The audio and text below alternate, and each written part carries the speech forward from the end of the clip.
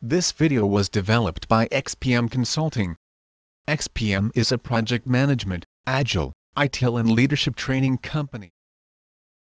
The team can produce the work breakdown structure once the scope is defined.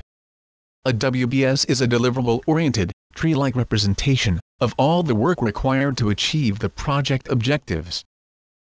Technical and project management deliverables identified in the scope statement will be progressively decomposed into smaller and more manageable work packages. A WBS defines the total scope of the project, and work that is not in the WBS is outside the scope of the project. There are different approaches for developing a WBS. You can adopt a top-down approach, decomposing each deliverable into smaller components. You can use a bottom-up approach, developing the WBS by integrating other previously planned WBS for different subcomponents of the project.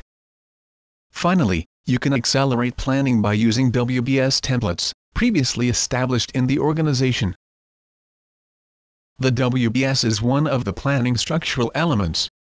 It will be used as a key input during activity definition, cost estimating, cost budgeting, quality planning, procurement planning, and risk identification.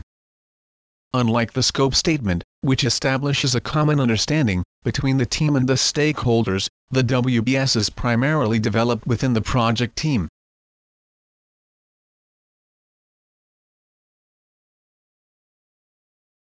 There are many advantages of using a WBS.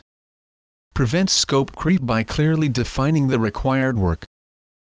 Increases the team's commitment to the plan, develops team spirit because the team is involved in the WBS creation, facilitates the internal and external project communication, enables more accurate estimates, identifies scope incoherencies, facilitates the responsibilities assignment, can be reused through WBS templates, and allows a unique code identifier to be assigned to each work element to facilitate reporting and reusing historical information.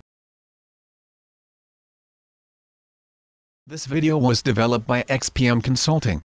XPM is a project management, agile, ITIL and leadership training company. Thank you for watching. We hope you found the video interesting, and if you did, don't forget to click the like button and subscribe to our channel.